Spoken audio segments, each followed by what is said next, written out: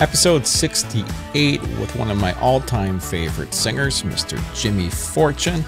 He also sang for many years with the Statler Brothers and now has a great solo career. He wrote one of my favorite songs called Elizabeth. Oh, Elizabeth, I'm sure missing you. And if you're a Statler Brothers fan, you certainly know that one.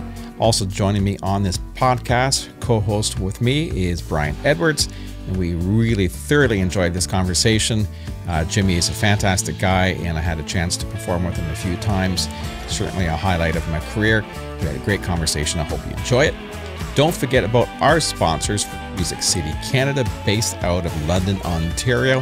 A great spot to buy all your music equipment. They'll ship right to you. And uh, great guys, great prices. Make sure you check them out on musiccitycanada.com. Also, Morning Buzz Coffee. MorningBuzzCoffee.buzz is their website. They'll ship anywhere as well. Uh, a couple great musicians that own this uh, particular company, and it'd be great if you could support them. And they have fantastic coffee on top of it, so make sure you check out Morning Buzz Coffee. Also, uh, Stickman Clothing Company, based out of Regina, Saskatchewan. They have very, very cool uh, clothing, and you can support them as well. Also owned by musicians. And uh, stickmanclothingcompany.com is where you find that.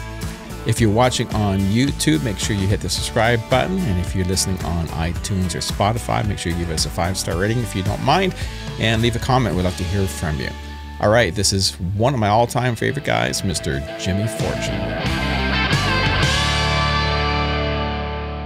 Okay, we're rolling here uh, with my good friend Jimmy Fortune. It's nice to have you on the podcast.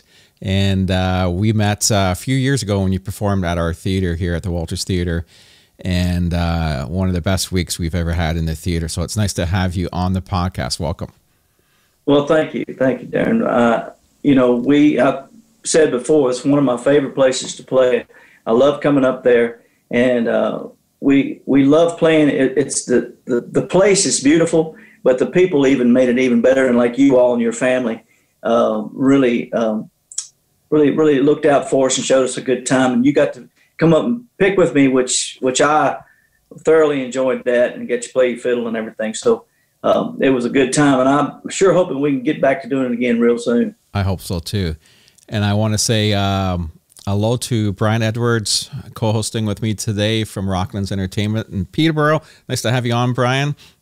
Man, That's a pleasure. I've been looking forward to this for a long time. I'm a big Jimmy Fortune fan, and uh, I certainly have taken in a lot of your shows over the years when you were with the Statlers and watching with Vincent and Dailey on their on their television show every once in a while, and just Yeah. very very good. Well, thank you for doing that. I appreciate it. I really do. I've, I've been around a long time, as you can see. Got the white hair to prove it. All that. we all have some of that, yes. Uh, so, so how are things going with? Um, I know we were chatting just a bit before we started recording, but we're obviously in this what we call COVID era, and and how have you been faring with uh, not performing very much over the last several months? How has it How's it been for you? well, I've uh, you know I've been surviving it pretty good. I haven't had it, thank God. Um, Yeah. Uh, and my wife hadn't had it either. We've been around a lot of people that have. I mean, a lot of uh, family members and a lot of my fellow musicians have, have, have had it actually. Uh, most of them done pretty well. We've lost a few here and there. We were just, you know, uh, talking about Charley Pride and and uh, what what he meant to me. Of course, Harold Reid passed away back in April, but uh, last year, but he didn't pass away from COVID. He he passed away from uh, from uh, kidney disease. Um, but it's been a, a tough year. We started out last year. We're going to be a lockdown. They were saying maybe a couple of weeks, and and then um, I started doing a thing called Jimmy Jams on my just on my little on a website here, just just to do some a song a day, and it started taking off. I I wound up doing it for three months, a song every day for three months, and um, and the people really getting uh, used to it, and we were having a lot of uh, action on the on the uh, on the website itself actually. Oh, that's great. And so um, it was going really well, and I got to a point where I was uh, there was there were so many friends and and stuff that were coming down with COVID, and it was getting uh, to where I would have to do a dedication almost every day for somebody that passed away, and uh, and it actually got kind of depressing for me because I, I just was kind of falling into that, you know, hey, there's people dying and there's people suffering and there and there and, and so I kind of had to get away from it a little bit. I just had to back off and just kind of let it let it lay because we you know uh, we started um, uh, people getting sick. Like I said, my father-in-law lost him uh, uh right before Christmas this year, mm-hmm. and uh, we had to spend a lot of time going up there trying to take care of him. So a lot of things kind of took place of uh, of playing music and trying to get out and play and trying to do things, but the Jimmy Jams things did take off pretty well, and maybe one of these days I'll get back to it, um, and we'll see what happens. I've had a few shows here and there. Uh, most of my shows since March last year were canceled. Uh, I had a couple on the books for this March, which have gotten canceled now. Yeah. Um, uh, I do have a private show in Florida um, this weekend, so I fly down to Florida and uh, do that, and then come back and actually go to Virginia to spend. Uh, I haven't spent Christmas with my kids this year, so I'm going up to have Christmas with them in Virginia. Oh, nice. Uh, next week. Yeah. So, uh, so we're just trying to, you know, make everything work. But, um, but it's been a it's been a pretty wild ride this year. I, mean, I know it has for you all too.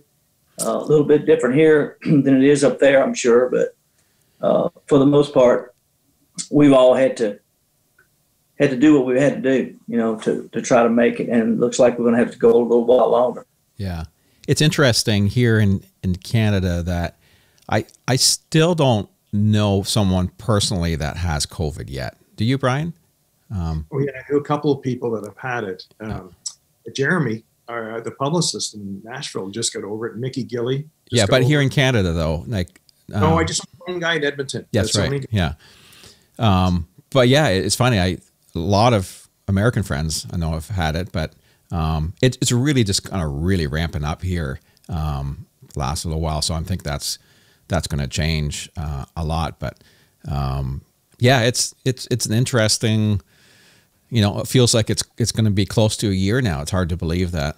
Uh, you know, a couple more months. It's it's going to be a year that we've been in this, and um, the year went by very very fast. Yeah. Uh, I can't believe we're in 2021 already, but uh, but here we are, and I'm hoping that you know that it's uh, better. There's a lot of there's a lot of turmoil going on here uh, with the election and things like that. We've had a lot of um, uh, you can feel it in the air. It's just different, and yeah. you know, trying to anticipate what's going to happen with the new administra- administration. And uh, I uh, we're going through a lot of changes. With a lot I guess we're going to find out a lot here in the next few months as to how it's going to work out. And, uh, you know, I just hope and pray that it does work out, you know, for everybody. That um, I just, I, I just hope that we can all get back to uh, respecting one another and, you know, being more, um, more kind, you know, to one another. And, and I really look forward to that, and I'm hoping that it can happen.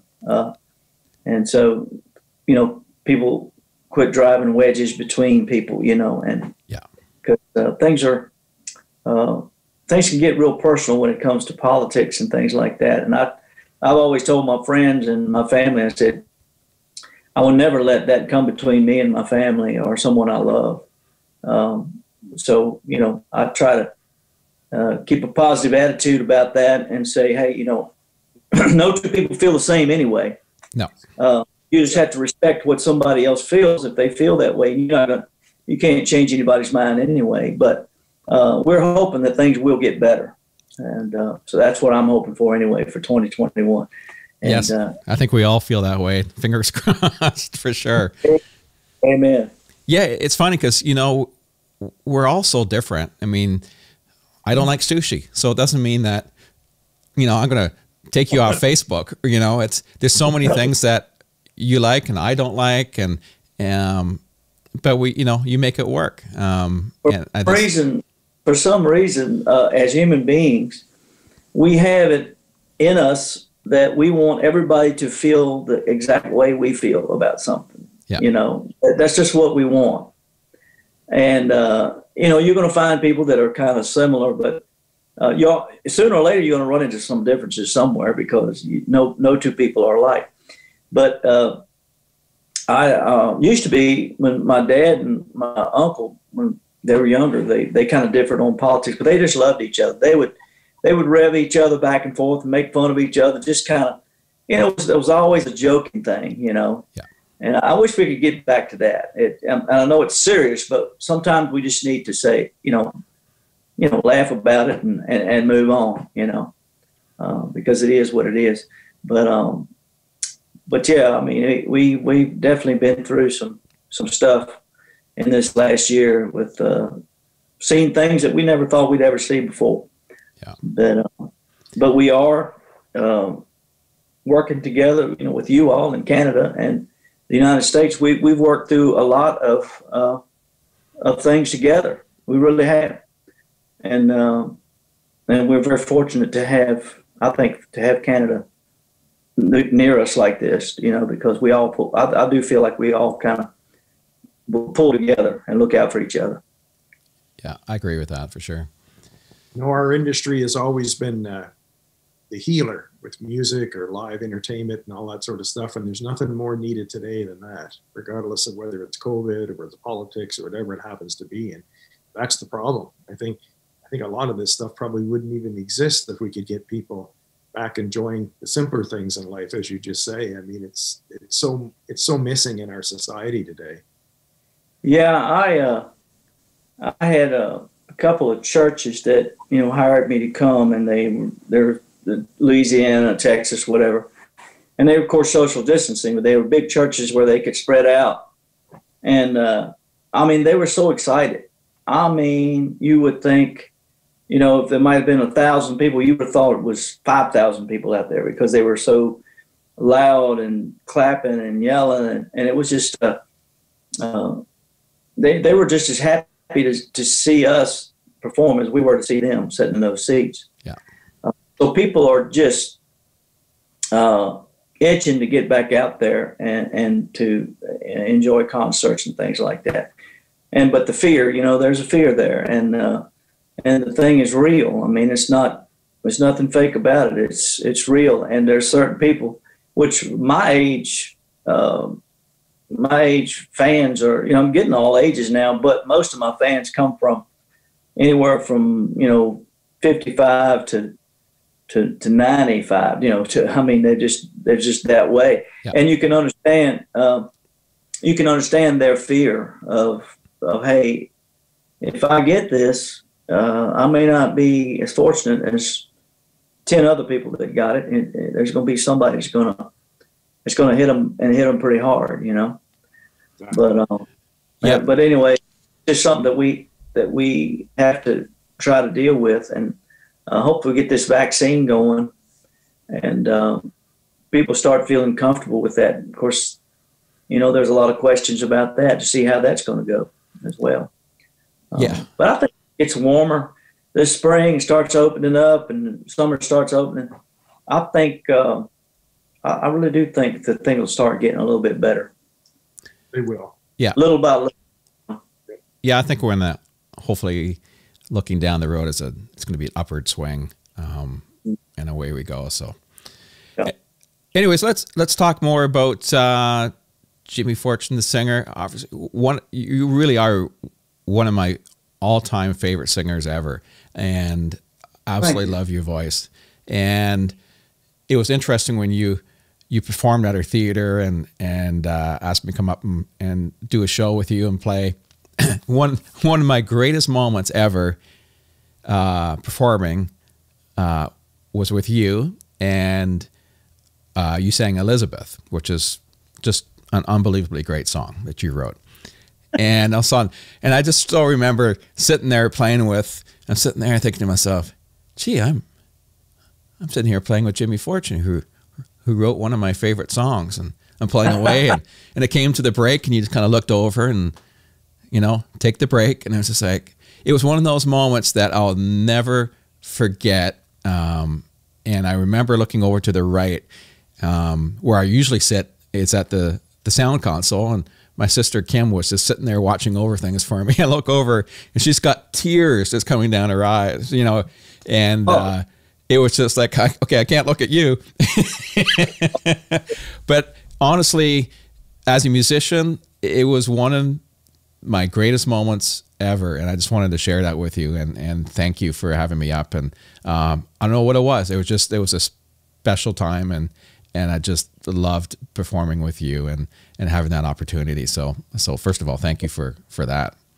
You're you're very welcome, and you're awfully kind to say that. Uh, that song, you know, it continues to uh, to do things today that I can't even explain. I had somebody uh, texted me a little while ago. Uh, it was uh, William Lee Golden's uh, granddaughter texted me, and her name's Elizabeth, and she's named that because of that song. And William Lee Golden of the Oak Ridge Boys, it's his granddaughter and uh, she's a teacher. And she said uh, she had her students there, and she sent me a little video of them.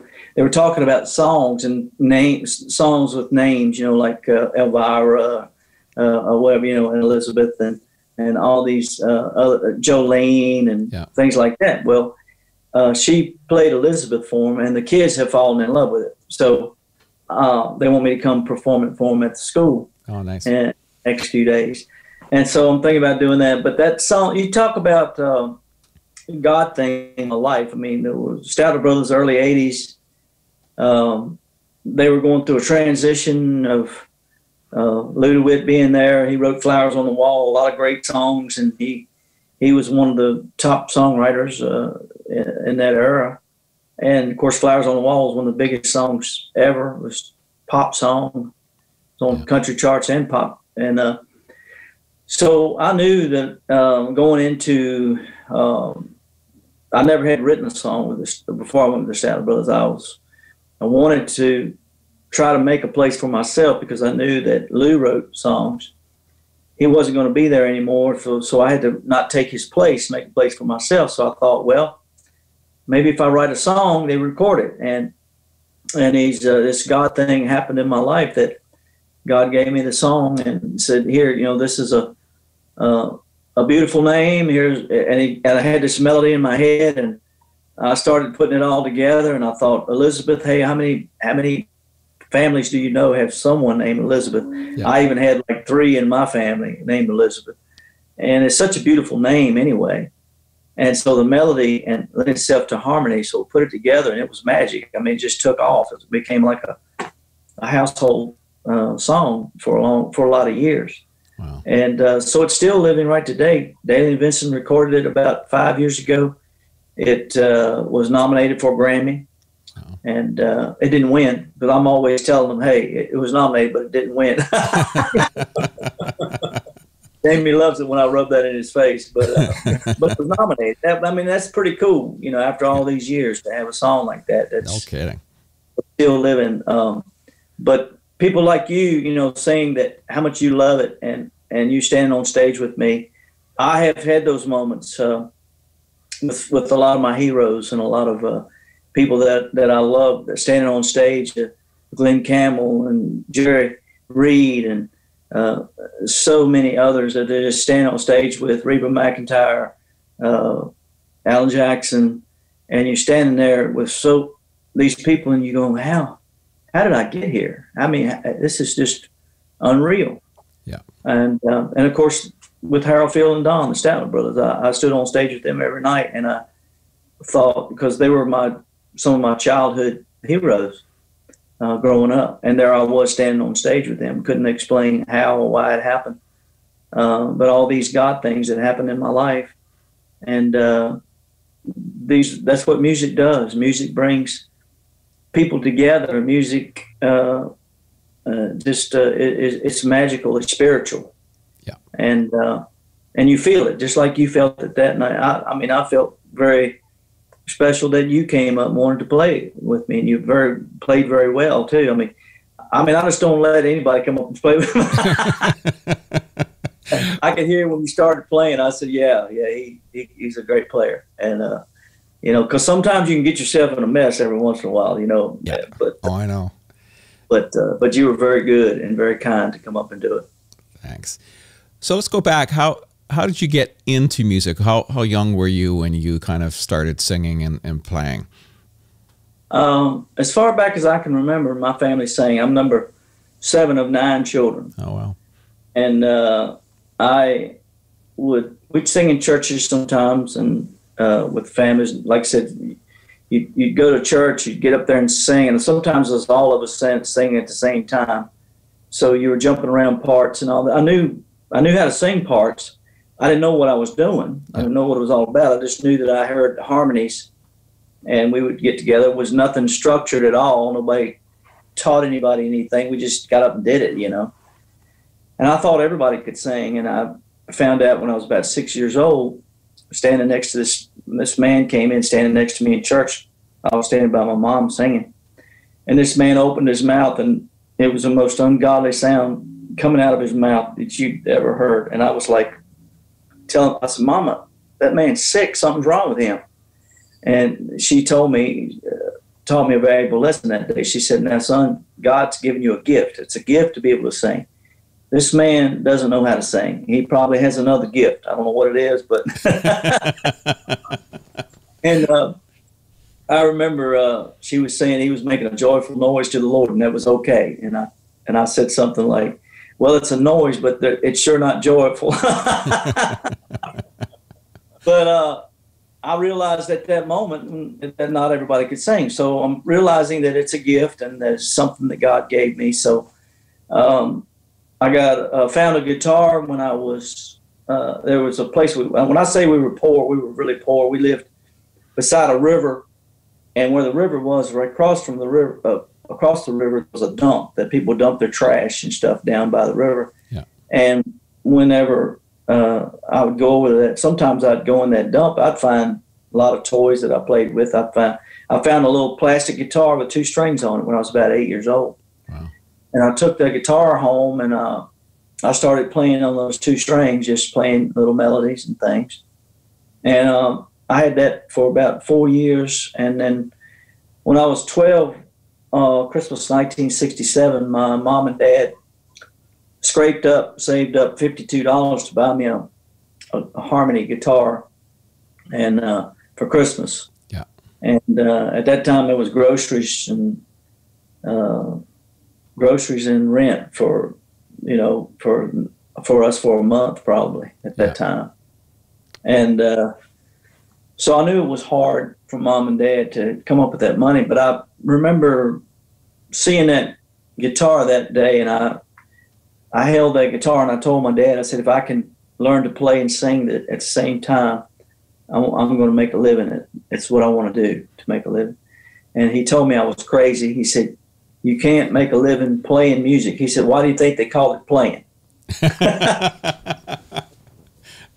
so uh, I said, uh, you know, I understood, but I, I never did take his advice on much of anything. I I, I wish I had because I found out how, how right my dad was about a lot of things. But that's one time I'm glad I just followed my heart you know, that I went with the music and I started playing. A year later, I had a little band and we played, started playing PTA meetings. Uh, made first gig with PTA meeting in Lovingston, Virginia, where I where I grew up. That area uh, made a dollar piece Wow. four of us. And uh, I told my dad we were on our way. And uh, so my goal was to one day make a hundred dollars in, in a week, you know.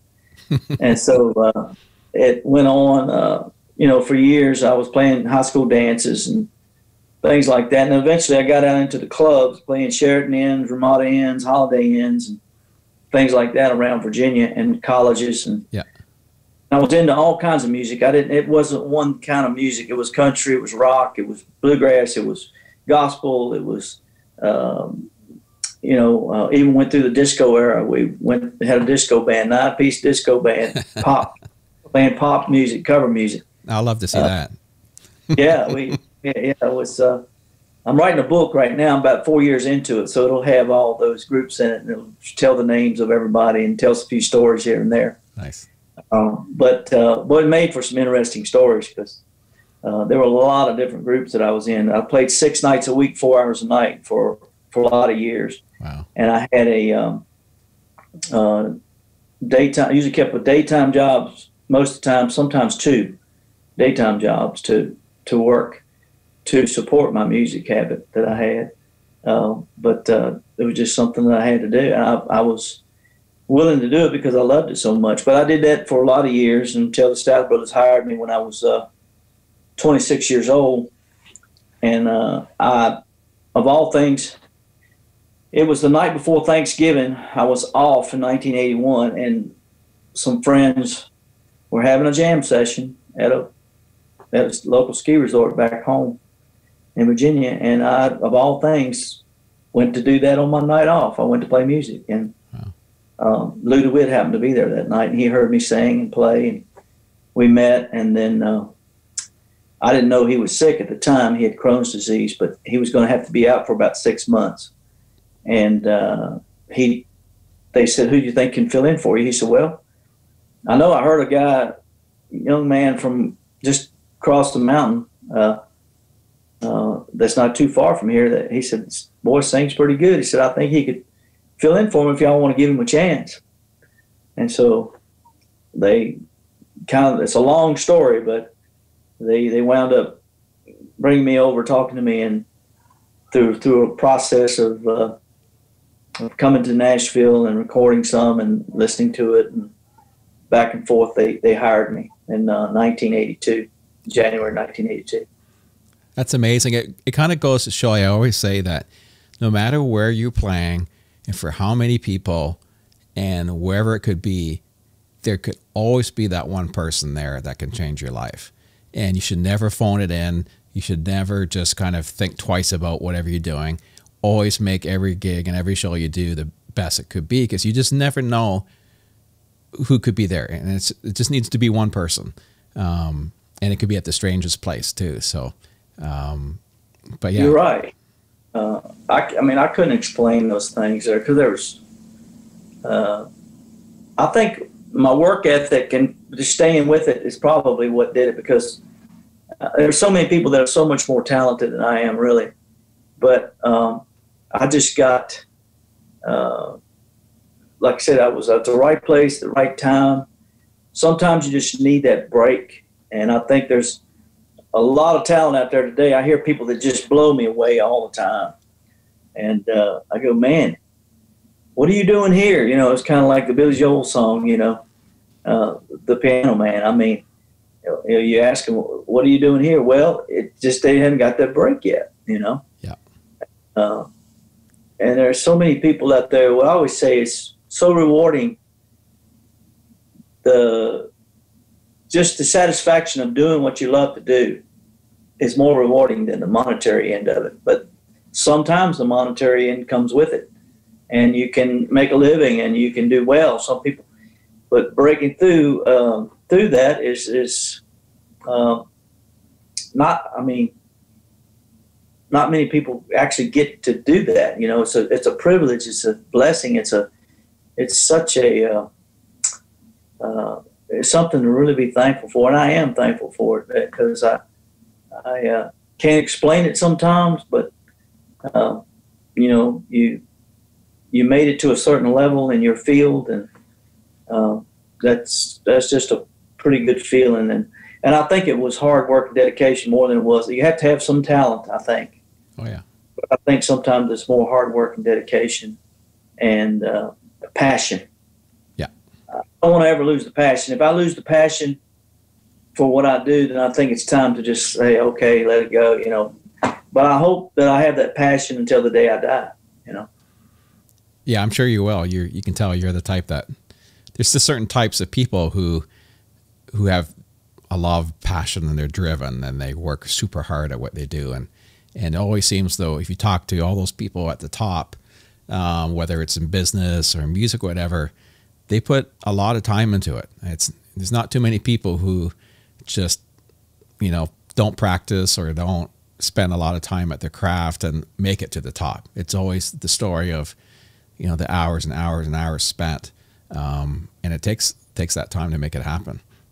Yeah, and and and getting in front of people too. Like I said, sometimes you can people sit and uh, they go to their room and they practice, and that's great. You know, they practice, practice, practice in the room or by themselves. but you don't really know what happens when you go out and all of a sudden you get in front of people and you start playing and they start moving or you start moving them emotionally, spiritually, physically, you're moving them, you know, you're, and then all of a sudden it, it goes from just be you and the music inside of you, it goes out to them and it, and then they share in it. Yeah. And then it starts coming back. It's like a feeding thing. It's like going them to you and you to them. Otherwise, if you sit in your room and just practice, you don't get out and do it. You don't get that feeling. Uh, I had to make myself, you know, when I wanted to, when I was, you know, when I got that guitar, I, I made myself get in front of people. Sometimes, and I made mistakes. I fell on my face. I, I did. I, I just, but I went out and tried to memorize. I didn't really know how to read music or anything like that. I, I leaned on my ear for everything. And uh, I would memorize songs and learn songs and learn the chords. I didn't really have anybody to show me it uh, at the time. I put a record on and listen to it and try to pick, you know, my way through it and try to figure things out. Yeah. But that's that's how I learned. You know, we didn't have, um, you know, we didn't have a computer. We didn't have it a certain way. But I think you you find ways, you know, to to do it if you don't have the tools. You know. Yeah. Uh, I that that old guitar for a long time. The strings were that high off the neck, and I would play it and you know just beat the crap out of it, just trying to you know, we didn't even have a PA when we started. We just got out there and just started playing and just, and then you had to sing loud, so you had to sing strong, and so it made you work hard, you know. And I think kind of paid off. Wow.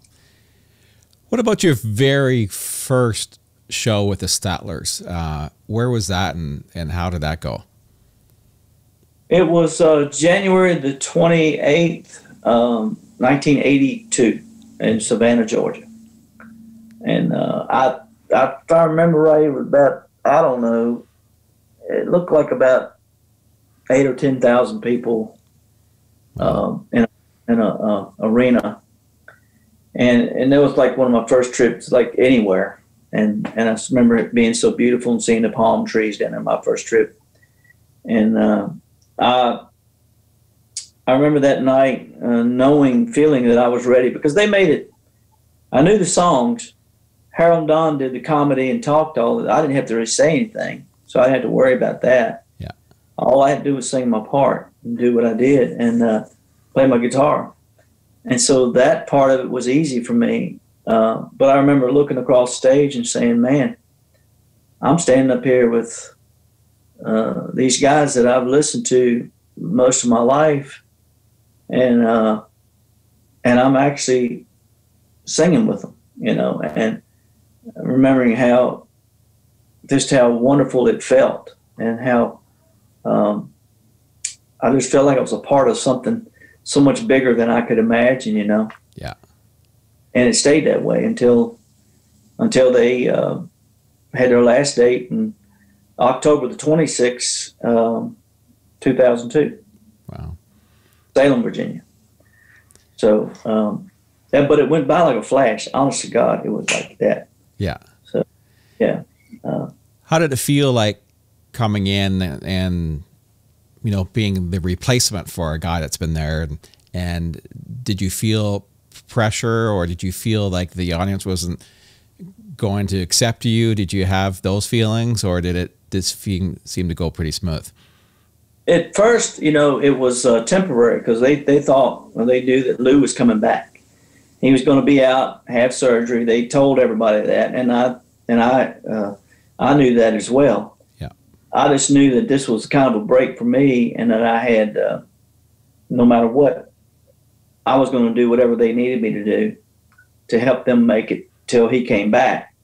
And um, I had a, a couple of uh, record labels that had contacted me about, you know, when he comes back, what what was I going to do? And they would want to sit down and talk with me at some point if uh, if Lew came back, and uh, so I could maybe pursue something there. You know, uh, well, I knew I had my foot in the door. I knew Yeah. things were working pretty good, and so um, uh, at first it was temporary. Then it got to that was in January, and it worked up until uh, the last part of June uh, we came off the road and uh, and we were. I told them I. They asked me if I'd stay in the band for a while uh, to find out how Lew was going to do built their stuff up, and if they needed to step in, I could.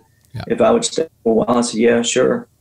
And uh, so Lew came back for a couple of weeks and practiced, and uh, and so um, he uh, came to me after about a week and said, "He said I don't think I can do this anymore." He said, "He said you've done a great job up to this point." And he said, "Why don't you just you just become one of the Statler brothers full time?" And I was like, "Are you sure that's what you want?" And he said, "Yeah." And uh, I and I, I was like, uh, I said, "Thank you." And he said, and he told me, he said, "I don't know if I'm doing you any favors or not." because he knew that it was different. It was it's it's a lot of uh, glamour and glitz and glamour and stuff like that, but it's also it's also different too. All of a sudden, you you are in the public eye all the time, and you you you give up a certain amount of your your uh, your freedom and yourself, and your and you and you give up a certain amount to your family, you know, because you all of a sudden you belong to to the people and so to speak, and and to the music.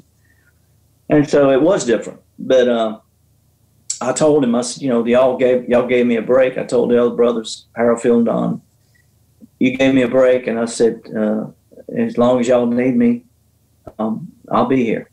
And uh, and there were times when, uh, yeah, when, uh, and I'm sure there are times now even I'll see, I'll see comments every once in a while. Uh, people that don't like me because I came in to to in, in a place of Lew. I never wanted to to do that. It just all kind of happened by accident. Yeah. I came in to help out, and then all of a sudden it got laid in my lap. Uh, I never wanted to come into a group and take somebody else's place. I never wanted that kind of thing to happen. Yeah.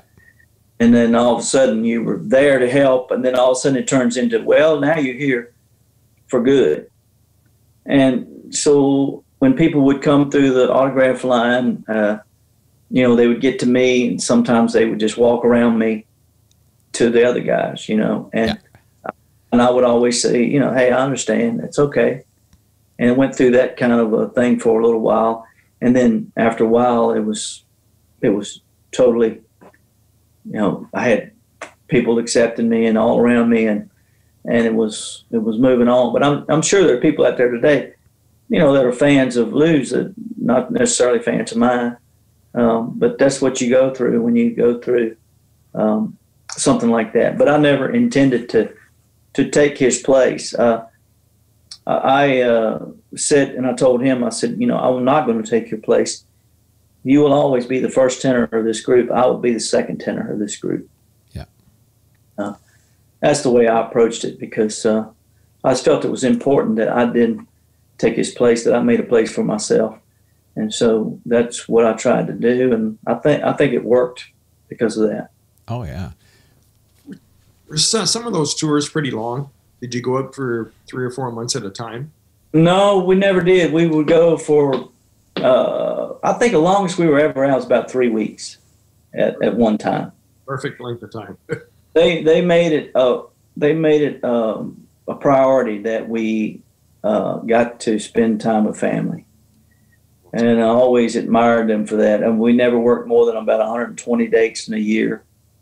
And most of those were like you go out on a week, uh, go out on a Wednesday and come back on a Sunday or, or Monday. And you'd have a few days during the week to be with your family. Yeah. And then we always took off the whole month of July. And we always took off the month of December and a couple weeks in January. That's when we went back to work. So we always had that time to be with the family and plan things with the family. That's good. What about uh, as far as it goes to recording and uh, albums and making decisions for that? How did that work within the Statler Brothers? How did you figure out what songs to record and, and what to make the next album? We had a uh, a system called a four star system, and we would listen to songs, and if we wrote a song, we'd bring it in and play it.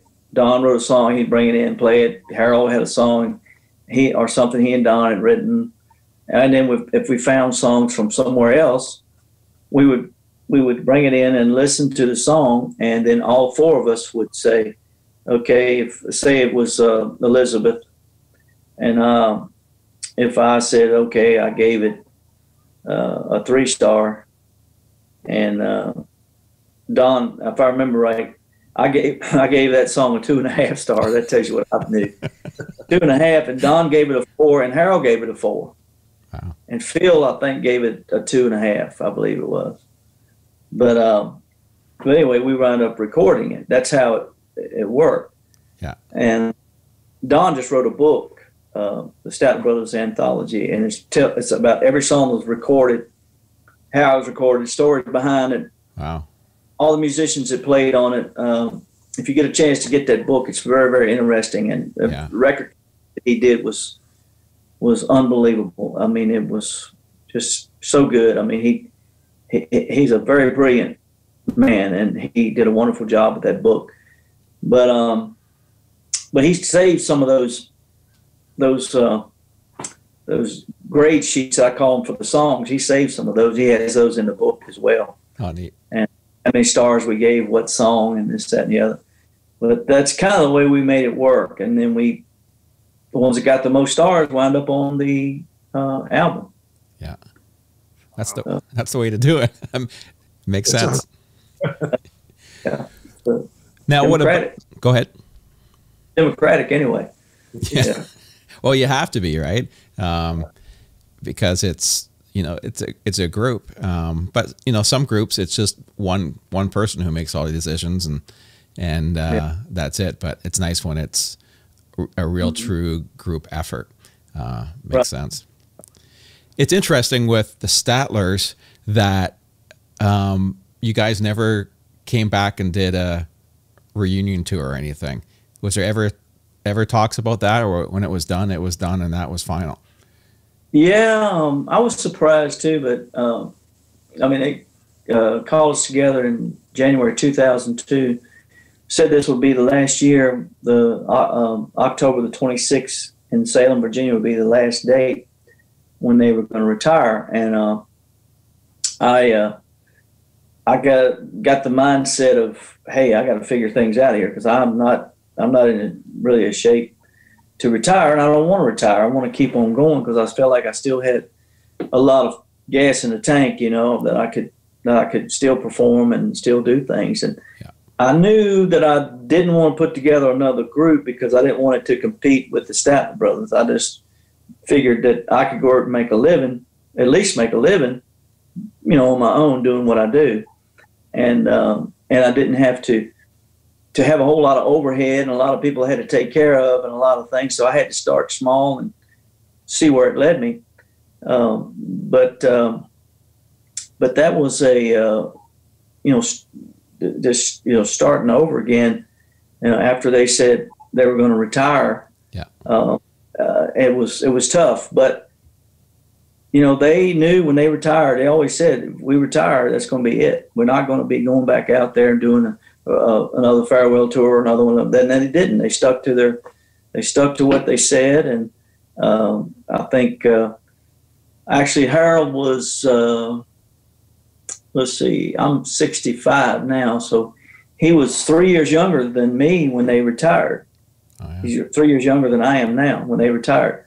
And Har- Phil was the same age. And then Don was, um, you know, uh, let's see, he was 57. So um, he was, uh, you know, about um, eight years younger than, than I am now or whatever. Yeah. Retired.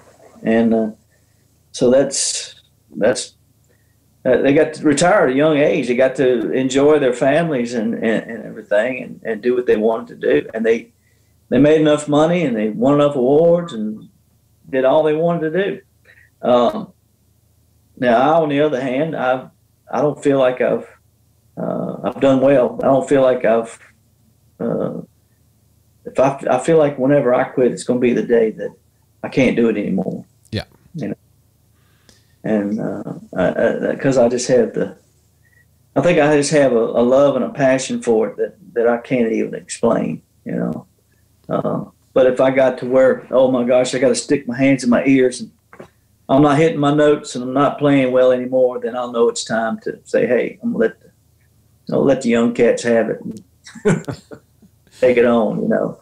Um, but I have, I do take a lot of uh, musicians here in town. I take them with me on the road, and I got some great musicians that I can that I take out there with me, and that, that have that have done really well, and, and I get to pick with some of the best in the world, and it's pretty it's pretty cool to still get to do that. Yeah, I, I see uh, Jenee plays fiddle with you sometimes. Uh, Yeah. she, she's pretty fabulous. Oh yeah, she she is something else, man. Uh, she amazes me. Uh, uh, matter of fact, I mean she she's one of those people I call that are eat up with it. She is eat up with playing, and she has mastered. She's mastered that instrument. Yeah. and I, I mean I just sit and watch her in amazement. And, uh, and of course we've had uh, Ryan Joseph. He plays with me quite a bit, and he does a really really good job. He plays for Alan Jackson as well. Of course, Jenee plays on The Voice and plays for Blake Shelton and um, Steven Tyler. She plays for so many other people. Yeah. And um, guy named Mike Rogers comes out and plays with me quite a bit. Uh, I've just kind of got a lot of different people I pull from uh, from time to time. John Meyer, uh, he's coming on really uh, a lot. I'm trying to push him to being a a, uh, a solo artist himself because he's writing some of the greatest songs that I've heard in a long time. Wow. And I'm really proud of his new album he's got out. So I've been really pushing him to. So these kids that are coming along, I try to push them and and uh, into the right direction and try to give them good advice and use me as a stepping stone, so to speak, to to maybe to take that next level to go out and be with those those big artists that are out there on the road. Uh, I had another girl, uh, Sydney Perry, that was with me for five years, and uh, now she's with Carrie Underwood singing for Carrie.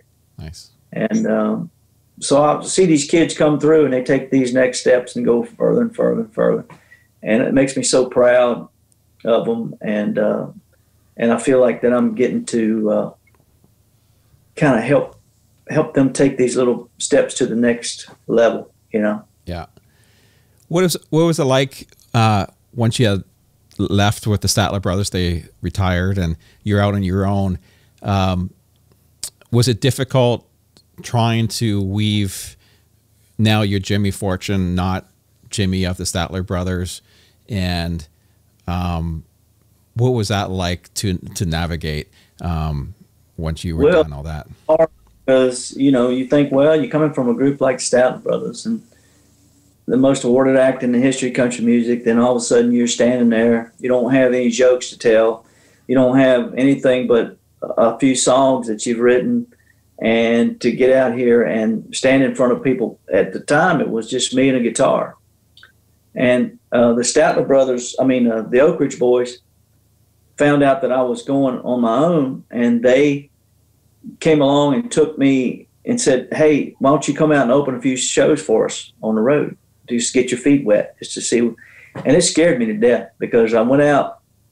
We're in Ohio doing a concert, and uh, I went out on the stage. Uh, I don't know, a few thousand people out there. I'm standing there by myself, and I looked down at my legs, and my legs were shaking so bad I couldn't. It was like a blur, you know, shaking. Yeah. And I'm trying to sing the first song, and I'm like, I was so scared that I thought I'm going to set my guitar down and just tell these people, you know, hey, that I, I just can't do this because I literally was so nervous. And uh, I, all of a sudden, these uh, these apples come rolling out from the side of the stage and stopping right at my feet. I'm like, what in the world? I look down, and the people just start laughing and start clapping and whatever. I look over and Joe Bonsall was rolling those apples out there at my feet, and uh, and he's like he could see that I was nervous. And I told him I was really nervous, so he he started doing that when it broke the tension and everything. And I started laughing, and I was okay, and I went on, and I did. So later on, I thanked him for throwing those the, or rolling those apples out there. And he said he said I wasn't doing it to help you. I was doing it to mess you up because you were doing too good a job. so uh, so I did that for a while, and um, so when whenever the Brothers asked me what I was going to do after after retire after they retired, um, the group retired. I uh, I said you know I wanted to continue on, it, but I was scared and I didn't know what to do. and um, Don gave me really good advice. He said, "Well, he said, Jimmy, when you when you came through the door and you came in and introduced yourself and told us who you were, and we we heard you sing and we heard you play, we said we loved you and you weren't trying to be anybody else. You just he said, what you have to do is just be yourself when you walk out on that stage, no matter what it is. Don't try to be anybody else, and people will love you for who you are and what you are. So that was the best advice anybody could ever give me because, you know, I'm just a simple person and um, and a thankful person to be doing what I'm doing, and I think that comes through that you know you're thankful to be there. Sometimes you sit there and go, "How did I get here? How am I?" But you you have a song to play that might somebody else might sit there and say, "Hey, that that song was written for me," uh, or you know, and that's what that's what it's all about. You you do it eh, to to to affect someone, to move someone else emotionally, and when you start doing that, then that's when you become, I think, uh, an entertainer and an artist. Yeah, for sure. It, it's interesting because as a buyer from a bunch of years ago, um, you saw Jimmy Fortune. It's like, oh, Jimmy from the Statler brothers. Um, but now when I look at Jimmy Fortune, I just see Jimmy Fortune. Um, mm. And it's it's great to see how you've really just established yourself so well, um, and and you really are super respected in the industry. Um, and it's it's a difficult thing to separate yourself from being with someone like the Statler brothers, such a huge act. Um, yeah. But you, you, you, but you were really, you've been really successful and and really making Jimmy Fortune an artist all among itself, and it's you know it's it's congratulate you on that. That's really good Thank job. You. Thank you for saying that. Um, I knew that um, when you have a purpose, you know, and I be, I be, uh, because I, I had some time there where I was going out and people were taking me to labels and stuff like that, labels downtown, Mercury, uh, Capitol, um, RCA, and they were taking you in and they were saying, we don't, and they, they would just look at you and say, no, we don't need that. We, and you know, it, it kind of made me feel, feel really bad. And I felt defeated for, for a long time. And, uh, and I, I just kept trying. I kept trying to do, cause I felt like I've got something to say. And, uh, I wanted my message to be a positive message that, Hey, I'm 50 years old, but hey, when you're 50 years old, it doesn't mean that life's over. If you have love in your heart for what you do, there there's uh, you know there's always a way, and people will pick up on that. And and so I remember coming out of uh, a label downtown, and I was supposed to have a meeting, and uh, one of the last ones I went to, and uh, had my manager. I was, Marshall Grant was the Statler manager too. He's my manager at the time, and uh, we just came out and they were like, no, we're not interested. And, uh, and I mean, not pulling any punches. It was like, yeah, you were here and you did this and you did that, but that you're 50 year old man and you, you just, we just not interested. So I remember walking out, standing on the side of the street that day. And, um, and I just, Marshall had walked off and he, he was leaving and, and I just told him, I said, Marshall, I'm, I'm not going to do this anymore. I'm not going to, I mean, I'm going to continue to play, but I'm not going to go to these labels and, and put myself out there to be beat up. I'm just not going to do that. And I stood there and it was literally, it was literally like God was talking to me. And I was looking up and I was looking around at the buildings and he said, these words just came to me. Don't worry about these big buildings. Don't worry about these record companies. Uh, you just put one foot in front of the other do what I ask you to do, be positive, do the right thing, and I'll take care of you. And I walked away from that point, and then all things started just coming my way, little things here and there, building, building, and little fires starting here and there, and then eventually one fire became another and another, and and it became a, a building over the last well, it's been 18 years now, 18 years this year. Yeah, and uh, it's taken a while. I won't say it hadn't, but uh, but you're right. My music's out there. My purpose is out there. The whole goal of what I set out to do. I didn't want the Statler Brothers to die. This is a piece of the Statler Brothers. This is a piece of it that's still living, that's still out there. When people people hear me play and they come, Statler fans come and they hear a little piece of what the Statler Brothers had, and then um, it's it's just something that's living. I always like to say something that's great that comes along and then all of a sudden it dies and it's gone. I always like to see something living come from that. Just like a just like a, a plant or a tree. It's like that that tree needs needs to go on. It, that tree might might die out one day, but then the seed that falls from that tree will grow another tree, and it'll be. Yeah. So I felt like I was that, you know, pulling what the Statler brothers were, and and I still talk about the guys today and just praise them over and over again because of what they did for me and what they've done for so many. Their music, I don't want it to die, so I, I try to keep it living. And in, a, in the process, I try to create new music and try to create positive music because I promised God that whatever I did with my music would be positive Yeah. and maybe be something that would help somebody along the way. They said, well, Jimmy Fortune can do it, then I can do it. You know, uh, that's the way I wanted it to be. So I, I appreciate you saying that because it, it, it has been a long journey, but it has been a very rewarding journey. I've, I've probably enjoyed music in the last uh, in the last 15 years more than I ever have in my life. Yeah, that's good. And, and I, I feel like I'm learning and, and I feel like every day that I learn something, I got, I feel like there's, there's so much more to learn and I never want to stop feeling that feeling, you know, uh, of learning Yeah. to do something. That's important for sure. It's interesting, you know. I, I was thinking with with the Statlers. Uh, obviously, Dailey and Vincent do a great job of you know bringing back a lot of those songs. But besides that, there's not a lot of Statler brother tribute type shows. There's a couple I've seen here and there. Um, but you know, I, I thought for sure it, it's it's not an easy thing to do. That's the um, the thing about trying to do a Statler Brothers tribute, those songs are hard. I, I even know with the family sometimes, well, let's do a Statler Brothers song, and and we start practicing and say, holy smokes, this is the singing it it's difficult stuff to pull off. It's it, it seems like the songs roll by pretty quick, but those are those are some heavy shoes to fill in. Those are pretty tough harmonies.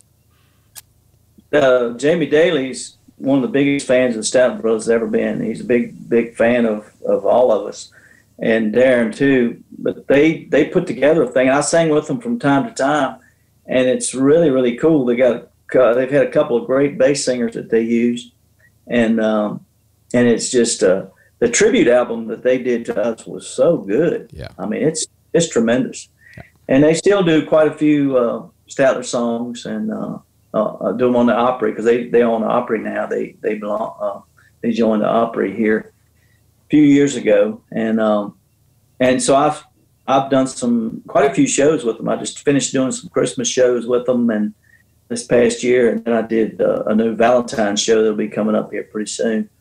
Um, and then we're working on some other things together. Um, but uh, but yeah, those guys are, are just great. Uh, uh, there's one story I need to tell you though. Oh yeah, You were talking, drop back just a little bit. You were talking about how hard it was to be uh, on the road after the Statler Brothers. Uh, one of the first places I went was upstate New York. Uh, somebody asked me to come to a fair. Yeah. Uh, I went up there and I pulled up to the fair. And I got my suburban or whatever, my trailer on the back of it with my stuff in it. And I asked him, I said, where do I go? It's Jimmy Fortune. I'm doing a show tonight. I said, yeah, you, you go through this gate, go across the tracks, and the grandstands are out there. So I pull up to the gate, gate opens up. I pull across the track, and I looked at the grandstand, and there's two speakers on sticks and a microphone sitting in the middle of the ro- of the uh, Of the- racetrack yeah, and a microphone sitting there, and that's it. And stand of about that would hold hundred thousand people. Looks like I mean probably twenty thousand. Yeah. But um, it would only we only had hundred people there that night, and so when I'm standing there, I told the guy, I said, "Well, where do I go to get dressed?" He said, "Well, your dressing room will be here in just a minute." so I looked. I looked up at that place where I just came through. And there was a truck with a horse trailer on the back of it. Coming, I said, "Oh, so I said, I guess that's my dressing room." He said, "Yep." and they pulled it down there, and they didn't even bother to clean it out. I mean, that dude, I had to get in there and dress. Like, God, where are the Statler brothers? Where? I mean, it was like reality hit me, and it was like, what in the world have I got myself into here? I and not only that, while I'm doing my concert, there was a demolition derby going on behind that grandstand, and it was packed with people. I mean, it must have been a thousand people. It was packed, and all you could hear was that car, those cars going back and forth. And I'm standing up there singing as loud and hard as I can uh, to those hundred people. And I said, "Why did you have me come up here?" He said, "Well, I'm a big fan of yours. I just wanted you to come." The guy that ran the fair. Yeah. You come. I said, well, well, next time have a little mercy on me. Don't let at least don't let the demolition derby go on while I'm playing my music. Uh, that's funny. I love that story. but I just had to tell you that story. But um, but back to, to, to the Statler brothers and Dailey and Vincent, uh, they uh, are just tremendous, and uh, they've done a lot for the Statler brothers to keep their name going, and I and they've done a lot for me too. They've recorded a lot of my songs along the way. As I said, uh, they took Elizabeth and uh, uh, took it. they were nominated for a Grammy a few, some years back, Yeah. and so so many other songs that they they did so well, and they still do it today. So um, we, we, we got to thank those guys a lot for because they're they're some great singers, man. Jamie Dailey, man, he can sing he can sing tenor to a dog whistle, man. He's he, I mean, he's a guy, man. Yeah. Oh yeah. Oh, that's good. So, yeah. Well, we'll wrap up on uh, a couple more questions here. I, I'm curious with all your time with the Statlers, do you have a particular show or date that stands out to you as being, you know, this is one of the best shows we did, or maybe it was a place that stands out to you, or sometimes you have those special moments? well, the, the two of the most special moments were, were the first time I stood on stage with them in Savannah, Georgia. Yeah. And I looked across the stage. I could not believe I was standing there. And then the last show that we did in uh, Salem, Virginia, October the 26th, 2002. Those two dates stand out. They were emotional for me. They were uh, just couldn't believe that the snap of a finger. And I'd played through all those years with some of my heroes and and some of the people that uh, I never thought I'd ever get to meet. Uh, we I remember I was a big fan of Glen Campbell. We did the Glen Campbell Good Time Hour. Did his show with him. Uh, got to meet him at Pick with him and Jerry Reed on the same stage. Wow. Um, and that was a that was a, a quite a, a treat. We got to meet uh, with President Reagan at the White House and the Oval Office a few times uh, and get to know him. And it was quite a treat. We got to go out to L.A. where uh, to we started the DARE program with uh, President Reagan. So we would get to go travel sometime and do some some uh, galas with him Yeah. and uh, and and, and uh, the First Lady, Mrs. Reagan. And um, I remember uh, uh, we we we would just get to do things that you can only say. I used to watch it on TV at home with my dad, and we were so far from that. We're like it's like another planet. There's no way you're ever going to get there. You're never going to be able to touch these people or talk to them. There, all of a sudden, I'm out there with them, and um, I remember going out to LA to do the thing for the DARE program out there, and it was every actor and actress and every musician, singer, entertainer was out there that night, and I was a big Jimmy Stewart fan, Oh, yeah. and I wanted to meet Jimmy Stewart, and uh, but I was one of those people that kind of sit back, and I was like, I didn't want to bother anybody, and I was just like kind of just taking it in, just watching everybody. So, um, and so I had to go to the bathroom. Eventually, I had to go to the bathroom, right? So I get up from my table and go to the bathroom, and uh, I'm standing there at the urinal. You know, figure it out. Yeah. Not standing, standing right next to me, and I seen him out of the corner of my eye. I'm like, oh my God, it's Frank Sinatra. And he said, he looked right at, like he looked at me. He said, well, Jim, what do you think about this? And I was like, Frank Sinatra knows who I am. What are you? And, and before I could say anything, to my left, I hear this. Yeah, it's a pretty big deal out here tonight, and, and it was Jimmy Stewart on the other side of me. and I'm sitting there going, all of a sudden, man, I'm like, holy smoke! So I said, I'm never going to get the chance again. So, so I, I But could you course. pee? Did you have stage fright in there? I said, I said, Mr. Stewart, I said, I, I'm a big fan of yours. I, I, I would, I'm so honored to meet you. And I stuck my hand out, like he said, you wouldn't mind washing it first for me, son.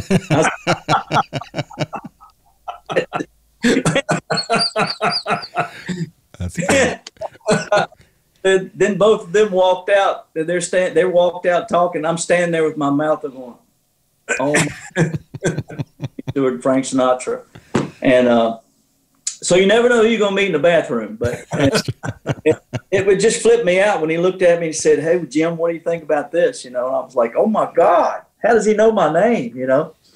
Uh, but uh, those are some of the things that kind of little things here and there that stick out. You know. Um, but there were so many things. Uh, like I said, I, I just got to. uh, There's one person I didn't meet that I wanted to meet. Well, a couple, but I always wanted to meet. Excuse me, I wanted to meet Elvis Presley. I didn't never meet, get to meet him, but he passed away before I came with the Statler Brothers. But uh, I, I wanted to meet of all people. I mean, I did get to meet was uh, Billy Graham, yeah. And I always wanted to meet him. And I always thought, well, why in the world? Uh, since I'm into the gospel industry so much, why haven't I gotten to meet him? But he got pretty sick before I uh, I had opportunity to meet him, and he was too sick to to be around him at the time, so I didn't get to to be there because he was my mother was such a big fan of, of his and and uh, just loved. Everybody was, everybody loved him, but uh, but that was a regret that that I you know never got to, to meet him. Yeah, yeah.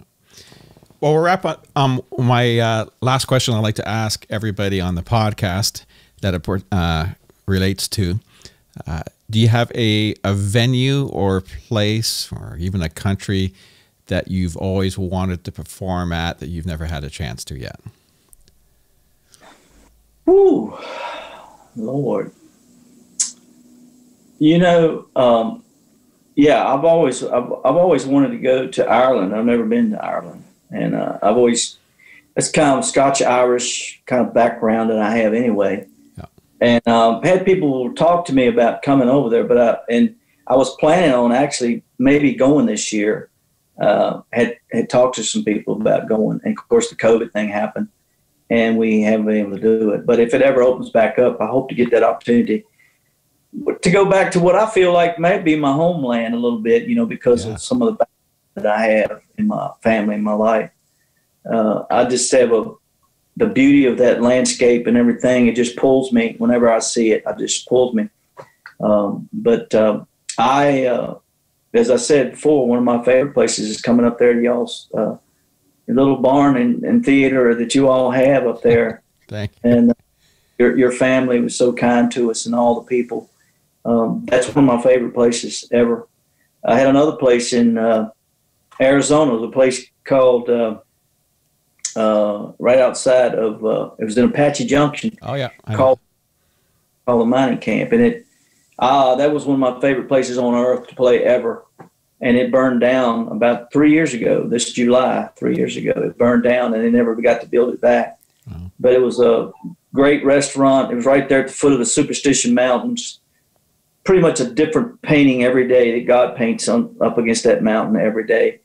Um, there's a special, you know, you've had places like that. Just have special feelings Yeah. about. You feel like, man, that's where I want to be the rest of my life, you know, or, or whatever. And so there, there, there's a lot of those places out there, but uh, the ones like your place, you know, you can you can count them on, on one hand. You know that you really would love to go back and, and do it do it all again. Well, we love to have you back for sure. So let's keep our fingers crossed. We're we're back to shows and and uh, Yeah. absolutely love to have you back. That'd be great. say you haven't aged a bit. You still look the exact same. Same to you. Got gray and everything, but uh, That's because you can't see me from the waist. the waist area's gotten a little bigger. I just cropped this just right, you know. I mean, it's been a tremendous pleasure. You've told some great stories, and I don't think I've belly laughed and had tears coming down my face listening to stories for a long, long time. And I really, really enjoyed it a lot. That fair story and the Jimmy Stewart story will last in my memory for a long, long time. I loved it, every minute of it. Well, thank you so much. I appreciate you guys having me on. Uh, you know, this is what it's all about. We have to get out here and we have to talk to people. We have to talk to each other and keep each other going uh, through all this. And um, hopefully, we can all get back and and uh, and be together again one day and shake hands and and, and hug each other a little bit. Just to show that. Wash your hands first. Yeah. Wash your hands, would you, would you, son? Yeah. Yeah. I'll, I'll never. So, if people want to follow what's uh, going on in your career, what's the best way to, for for people to do that? Uh, well, get on jimmyfortune.com. Uh, also, I have a new, really new album out with Ben Isaacs, Bradley Walker, and uh, Mike Rogers. It's called Brotherly Love, which is a kind of a quartet, but also has trios. It also has duets. It has lead, you know, uh, solo parts. Uh, but it's called Brotherly Love, and if you can check that out. Um, and then my album, um, God and Country, just won a Dove, uh, GMA Dove Award for uh, Country Bluegrass Roots album of the year. So those are my two newest projects that are out there um, right now. So Excellent. uh, yeah, some some great things happening. But JimmyFortune.com, and we're in all the major markets out there that sell hard copy like CDs and DVDs and things like that. So Yeah. um, and if you can't find it out there in Cracker Barrel or or you know we have you know uh, Cracker Barrels everywhere down here. I don't know how many y'all have up there. Y'all have Cracker Barrel up there? no, unfortunately, but we all we we go to them when we're in the states. I got you. I got you. We need a Uh, crack barrel fix bad. You know? should be, you know, out there in Christian bookstores and, and some of the major markets that sell uh, CDs, still sell CDs, you might say. Yeah. It should be out there. So let me know if you can't get it. I'll, I'll see if I can get you one. Well, thanks again. And I really appreciate it. It was a wonderful conversation, and uh, can't wait to see you again. And I hope it's real soon. All right. God bless you guys, man. I appreciate it. Love you all. Thank You you. too.